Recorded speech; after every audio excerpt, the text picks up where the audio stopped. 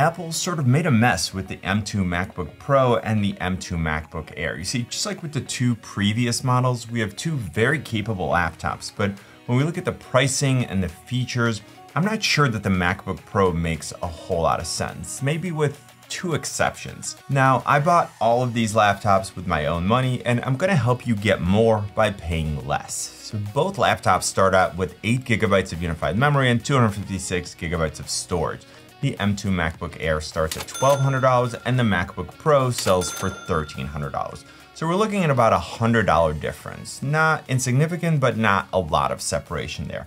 With the M1 model, there was a $300 difference between the two base models, and the more expensive MacBook Pro had some better features. But this year, it's not quite that simple. So let's take a look at both of these from the perspective of an everyday user, and I'll also add some context for more demanding users. Now, both laptops come with the new M2 chips, but there are small differences that I want you to be aware of. The MacBook Air comes with an 8-core CPU and an 8-core GPU, and can be upgraded to a 10-core GPU for an additional $100, which would put it at the exact same price as the MacBook Pro with the M2 MacBook Pro, you're always getting a 10 core GPU, so the only upgrades are unified memory and storage. For most users, the difference between 8 and 10 GPU cores aren't gonna be super meaningful, but if your specific workflow includes GPU intensive tasks, then I think that upgrade makes sense in the long run. Also, I'll show you some interesting benchmarks later on in this video because I wanted to look at sustained performance and the SSD speeds of the various storage options. Now, whether you get the Air or the Pro, you can go up to 24 gigabytes of unified memory, then all the way up to two terabytes of storage. Now, I made other videos about this, but I just wanna make sure to remind you that you cannot upgrade the RAM or the storage later on. So whatever you choose now, is what you'll have for the life of the device. Now, being able to upgrade these to 24 gigabytes is a big deal. With my M1 devices, I can pretty easily use up to 16 gigabytes that I have, so this 50% increase is super welcome, but again, keep in mind that you can do that with both laptops, so it doesn't really give one the edge over the other. In terms of performance, the one notable difference is that the Pro has a fan, where the air does not. Now this means that when you push both of them to the limit, the air will at some point throttle back performance in order to cool down, and the Pro will just be able to turn the fan on and just continue to chug along, but more on this in just a minute. Now, when we look at the form factor, we see some important differences, but they seem to be leaning in favor of the less expensive MacBook Air. We're getting approximately the same width and depth, but the Air is 0.17 inches or 4.3 millimeters thinner. Now that may not sound like a lot because both of them are quite thin, but it is noticeable. And also I wanna mention that the Air is 0.3 pounds or 0.16 kilograms lighter. It's not enough to make a major difference as far as portability goes, but it is worth mentioning. And we're also no longer seeing that tapered wedge design on the MacBook Air. And the M2 version kind of looks like a thin 14 inch MacBook Pro. I actually really like the wedge design on the M1 model because it was super comfortable to type on but the M2 Air is really thin, like the body is really thin, so it doesn't really dig into my wrist like the MacBook Pros do. Now, as far as ports, both laptops get two Thunderbolt 3 slash USB 4 ports, and in both cases, the ports are on the left side. Now, I really wish that they were split, one on each side, so that it'd be more convenient to connect accessories or to charge the laptops from either direction. And speaking of charging, we're seeing another advantage with the MacBook Air, which now comes with the MagSafe 3 charging port. Now, this means that you can charge the MacBook Air and still have both Thunderbolt ports available for accessories, whereas on the Pro, you'll need to use one of the Thunderbolt ports for charging. I also wish that these were Thunderbolt 4 ports and they had the ability to connect multiple external displays. Now, I know that the Air is targeted at a more basic user, but dual display setups are becoming more and more common, and both of these laptops are definitely powerful enough for work and even for more demanding users. Now, even if Apple didn't want to do that with the MacBook Air, this would have been a real opportunity to differentiate the Pro. Now, as it stands, if you want native support for multiple monitors, then you'll need to look at the 14 or 16 inch MacBook Pro models. Now, finally, both the Air and the Pro have a 3.5 millimeter headphone jack, with advanced support for high impedance headphones. And neither of them come with an HDMI port or a micro SD card slot. both of which are available on the 14 and 16 inch MacBook Pro. Now moving on to the display, this is another area where the Pro versus the Air doesn't really make a lot of sense because the Air actually has a bigger and better display. We're looking at a 13.6 inch liquid retina display on the Air versus 13.3 retina on the Pro a slightly higher resolution on the Air, the same 500 nits peak brightness. Both are P3 displays, which have a wide color gamut for more accurate color reproduction, and both offer true tone, so they can detect the color of the light in the room and then make adjustments so that white always looks white rather than yellow or blue. Now, ultimately, the Air has smaller bezels and a notch versus a larger forehead on the Pro, and Having used both, I personally prefer the Air. The keyboard on the M2 Pro is the same as what we had on the M1 model, and it still features Touch ID for biometric authentication.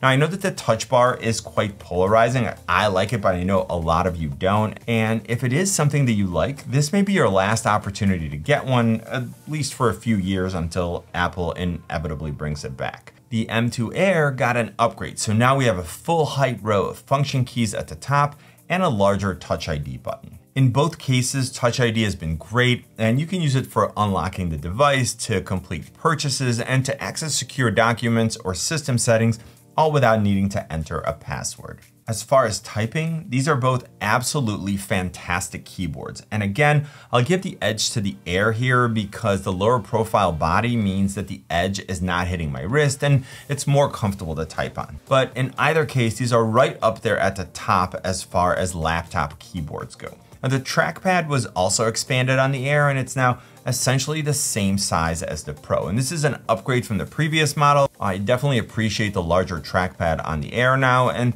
Apple probably makes my favorite trackpad on any laptop. When we talked about the display, I mentioned the notch on the MacBook Air, and it's there, of course, to house the new camera system. This is another area where the Air is better with the new 1080p camera versus a 720p camera on the Pro, and here's a sample. Here's a camera and microphone test of the M2 MacBook Air and the M2 MacBook Pro. This should give you a pretty good idea of the type of image quality that you should expect and the type of audio quality that you're going to get. When it comes to speakers, both are very good for a laptop, but once again, the Air gets the win with a four speaker system. Overall, the Air is a little louder, the mids and highs are slightly brighter, and the audio sounds fuller and less tinny. And one advantage that remains with the MacBook Pro is battery life. Now we're getting a 52.6 watt hour battery on the Air versus 58.2 watt hour on the Pro. And overall, the Pro is rated for 20 hours of movie playback versus 18 hours on the Air, then 17 hours of wireless web versus 15 on the Air. Now, one other potential difference has to do with charging, where the MacBook Pro comes with a 67 watt power adapter.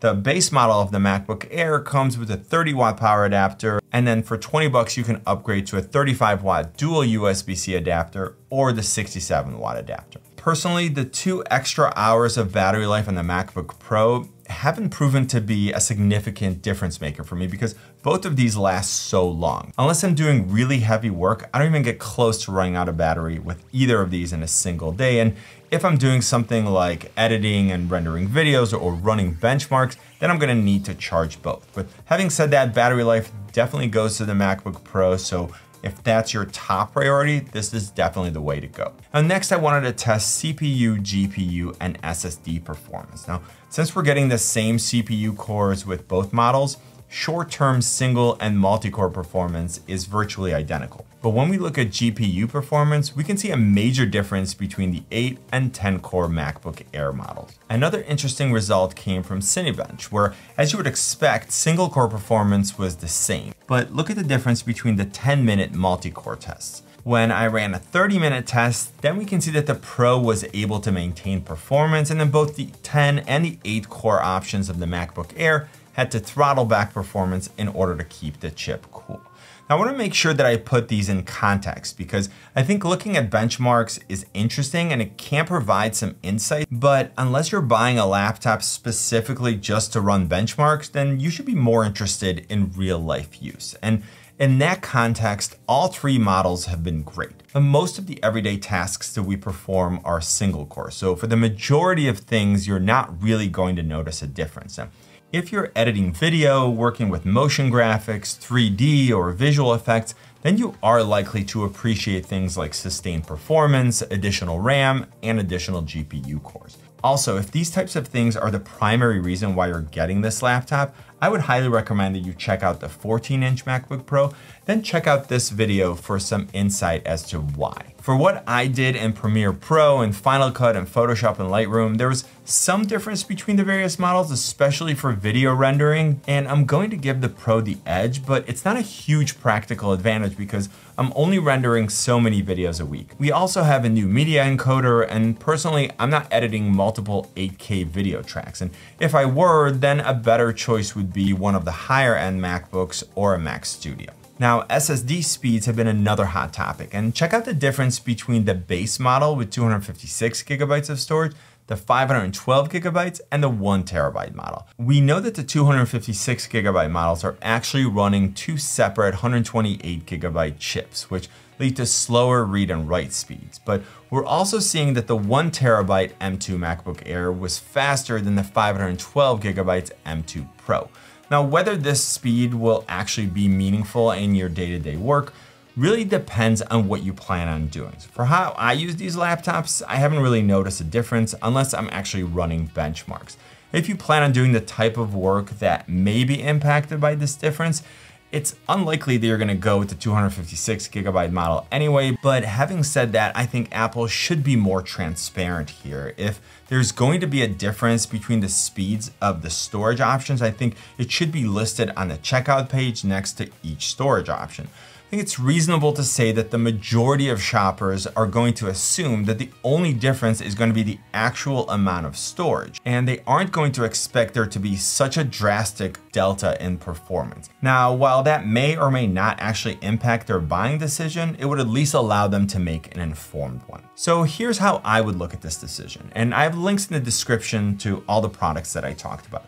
The M2 MacBook Pro is slightly more expensive, it has better battery life, a touch bar, and it has an active cooling system for sustained performance. So if those are a priority for you, it may still be a good option. And again, I would definitely check out the 14 inch MacBook Pro. The M2 MacBook Air gives you the option of getting the exact same chip. It has a larger and better display, outstanding battery life, it's lighter and thinner, it's more comfortable to type on, has a better camera and a better speaker system, and it comes in two new colors, Starlight and Midnight. Personally, I think that the MacBook Air is a better option for most users, and those who truly need additional performance would most likely benefit by skipping the 13 inch M2 MacBook Pro and looking at the 14 inch one. Now you should watch this M2 comparison, click on my face to subscribe. Hopefully this video was helpful. You know what I always say, buy it nice or buy it twice. Good luck and see you soon.